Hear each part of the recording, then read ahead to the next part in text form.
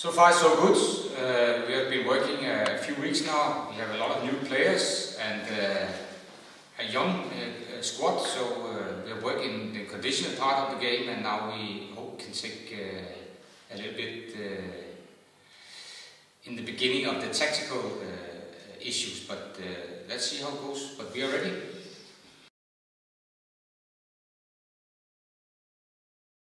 Expectation is the same as uh, always. Is we have to stay in the league and uh, we have to take uh, one game at a time and, and see how it goes. I have. Uh, uh, I hope that uh, we will have a, a, a reasonable start so the, the team can have some confidence, but you never know.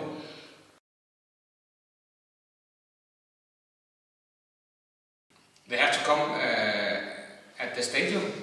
There have to be a lot of a lot of them here because we need you. Even though that uh, we are struggling a little bit, uh, if we, if that is the case, you have to come anyway because when you're here and uh, the stadium is full, it helps the teams very much. Thank you.